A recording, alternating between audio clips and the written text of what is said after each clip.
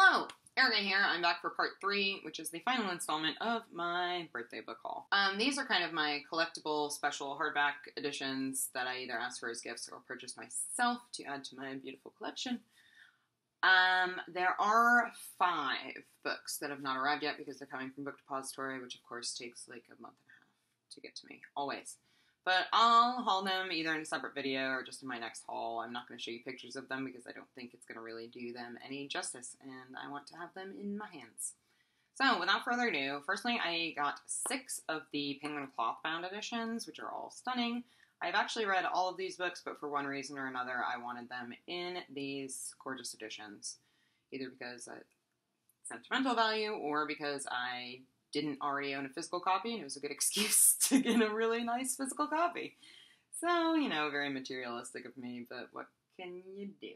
So, the first one I have is Treasure Island by Robert Louis Stevenson. I read this last year, I think, maybe the year before. I don't really remember. Um, I really enjoyed it. It was really fun, and at first I wasn't going to get this edition because the red and the green kind of put me off a little bit. But I in person, I ended up really liking it, and I think that it is really nice and goes well with the story inside. So I have that. Of course, there's a built-in bookmark. I don't. I mean, you know what these look like, right? I just have to hold them up. Great. Next, I got a very beloved book of mine, which I don't talk about often enough, and it's because I haven't had a copy of this for a while. I used to have the mass market paperback of Les Miserables by Victor Hugo and I don't know if you've seen the mass market paperback that I'm talking about, but of the unabridged edition, the mass market paperback is like this tall. It's like this wide, and the font is minuscule. It's terrible. It's not good for your eyeballs. Don't do it. You'll damage your eyes. So I had to have. I've been waiting. I've been trying to decide what edition I wanted. I have read this. So I've read the abridged version once when I was in high school. I have since read the unabridged version twice. I love this story so much. It's so good. If you haven't read it yet, please do. Um, I have to talk about this in one of my classics videos soon. Now that I have a copy, so it's on my brain a little bit more. Anyway, absolutely stunning. I love the birds. The birds are great. I always thought from seeing this in people's videos that it was black and red. It's actually like a really dark navy and red. I don't know if you can tell because I never could tell. But, you know, vision problems, so that could be why. Anyway, I have that one. Next, I was given Anna Karenina, another book that I really love. I really need to reread too, and I'm so happy to have this edition to reread it in. Um, again, gorgeous, the dark gray with the pink on it. I love it. I love it. I love it. I also got perhaps the prettiest, in my opinion, of the uh, Penguin Clothbounds, and that is The Picture of Dorian Gray by Oscar Wilde.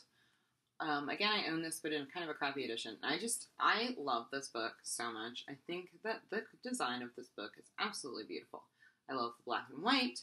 I love the peacocky feathers. I just, oh my god, it's so, so pretty. And then I got Jane Eyre by Charlotte Bronte. Super thrilled. I had the saddest, most beat up mass market paperback of this book. And now I have this gorgeous cloth bound. Um, I love this one. It's really, really pretty. So I'm very excited to have that. And lastly, I'm super excited to finally have a really gorgeous edition of one of my favorite books of all times, time, which is Wuthering Heights by Emily Bronte. Um, this is stunning, very much like The Picture of Dorian Gray. I think they're my two favorites right now that I have. Um, really beautiful. I have a Norton Critical edition of this book, which I will not be getting rid of because I think Norton Critical editions are really well done. They have so much added to the text. The edition I have even has some for poetry in it, and so I won't be getting rid of that, but I will also be having this gorgeous edition. And then lastly, I only have two more books to show you.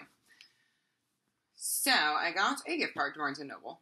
Really bizarre. I hadn't been to a Barnes & Noble in like two years, and now I've been twice in the last two months. Anyway, I have nothing against Barnes & Noble. I just... The independent bookstore is closer to my house than Barnes & Noble, so it makes no sense for me to go there.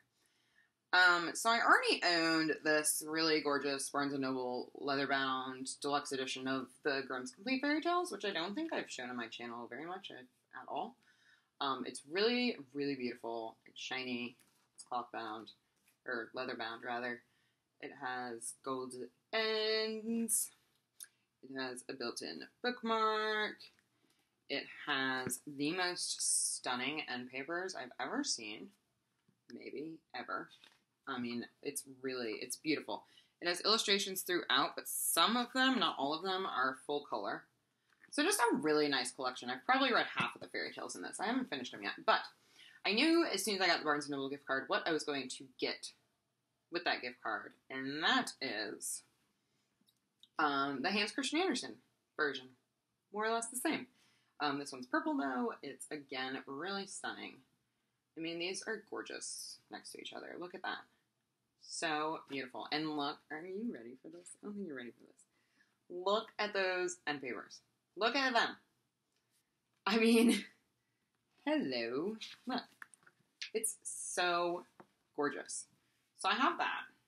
And then these editions were buy one, get one half off because I went there on Memorial Day. And so I also had to get um, Fairy Tales from Around the World by Andrew Lang, which I've had my eye on for quite a while. This one's a little bit different in the way that it's laid out than the other two. The other two match kind of exactly. This one's a little bit different, but equally, if not even more gorgeous. Look at that. Um, again, shiny. Again, it has a bookmark. And look at the back.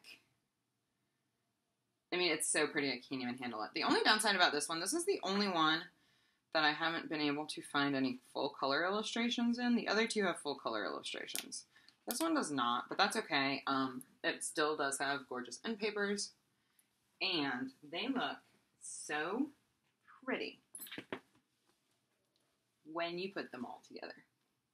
So I am so excited to have gorgeous, gorgeous editions of classic fairy tales for me to peruse at my leisure. These are not the kind of books that I will sit down and like read in a sitting, but every once in a while I'll read a couple of fairy tales.